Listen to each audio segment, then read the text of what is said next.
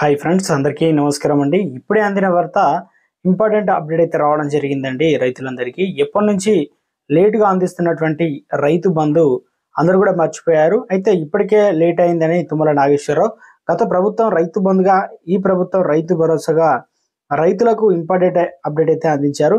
ఏ జిల్లాలో డబ్బులు పడతాయి? ఇక ఈ రోజు రైతు భరోసా అప్డేట్ అయితే ఏమిచ్చారు?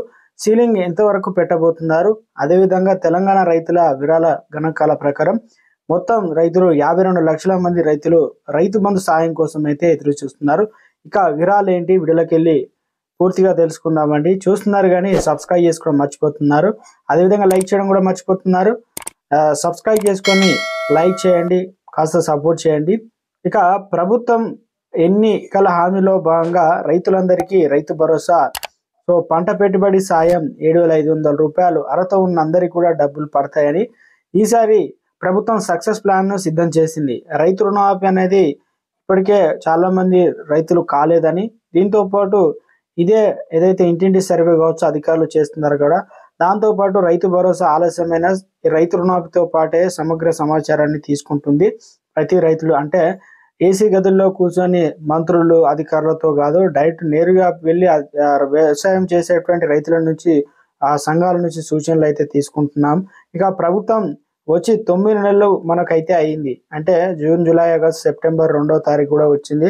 అయినా ఇప్పటి వరకు రైతు భరోసా సంబంధించి ప్రభుత్వం నిధులు అయితే రాలేదు. అయితే దీనిపైన రైతు భరోసా డబ్బులు అయితే రైతుల ఖాతాల్లో ఇంకా పడతలేవని అందరూ కూడా మర్చిపోయాం. ఇతరులు ఆ ప్రభుత్వం మరోసారి కూడా ఏదైతే రైతు బంధు సంబంధించి ఎప్పటి నుంచి జమ అవుతాయి ఈ అదేవిధంగా సోషల్ మీడియాలో వార్తా కథనాల ప్రకారం రైతు భరోసా డబ్బులు అయితే జమ అవుతున్నాయని ఒకవేళ ఈ రోజు కూడా కొన్ని జిల్లాల్లో పడతాయని చెప్తున్నారు. ఒకవేళ డబ్బులు కనుక పడ్డట్లయితే మీకు మెసేజ్ వస్తుంది. కింద కామెంట్ సెక్షన్లో దయచేసి కామెంట్లో చేయండి. ఎందుకంటే మాకు ఇన్ని ఎకరాల వరకు వచ్చిందని. ఒక ఎకరం నుంచి ఐదు ఎకరాల వరకు డబ్బులు అయితే పడతాయని. సో మరొక వార్తా కథనాల ప్రకారం మనకు దసరాకు ప్రభుత్వం అయితే రెండు కొత్త పథకాలు అయితే ప్రారంభించనుంది. ఇందులో ఇప్పటికే ప్రజాపాలన దరఖాస్తులు కూడా తీసుకున్నారు. ఇందిరామ ఇండ్లు అంటే ఐదు లక్షల రూపాయలు ఇక ఇతరులకు ఆరు లక్షల రూపాయలు అయితే ప్రభుత్వం రైతుల వారి బ్యాంక్ ఖాతాలో అకౌంట్లో డబ్బులు చేయనుంది విడుదల. అదేవిధంగా రైతు భరోసా సంబంధించి ఏడు వేల ఐదు వందల రూపాయలు వేయాలని ప్రభుత్వం నిర్ణయించింది. ఆలస్యమైన పంట వేసిన వారికి మాత్రమే ఈసారి రైతు భరోసా విడుదల చేయనున్నామని మంత్రి తుమ్మల నాగేశ్వరరావు స్పష్టం చేశారు.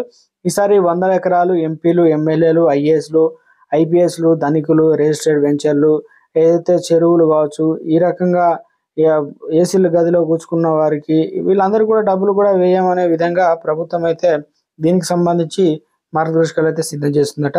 ఇక రైతు రుణాలకు సంబంధించి మరోసారి రుణమాఫీ కాని వారికి కూడా రెండు లక్షల ఆపైన వడ్డీ ఉన్న వారికి ప్రత్యేకంగా డేట్ అయితే ఇవ్వనున్నామని ప్రభుత్వం తెలియజేసింది. సో మొత్తానికి రైతు భరోసా సంబంధించి ప్రభుత్వం చెప్పగానే చెప్తుంది. మనకు దసరాకైతే అయితే ఈ డబ్బులు అయితే పడతాయని చెప్పి ప్రభుత్వం అయితే దీనికి సంబంధించి పథకాన్ని ప్రారంభిస్తామని ఒక క్లారిటీ ఇచ్చే ప్రయత్నం అయితే చేసింది. సో ఈ మధ్యలో కనుక ఇచ్చిన అప్డేట్స్ తెలియజేస్తానండి. చూస్తున్న ప్రతి ఒక్కరు కూడా లైక్ చేసి చాలా సబ్స్క్రైబ్ సపోర్ట్ చేయండి. Thanks for watching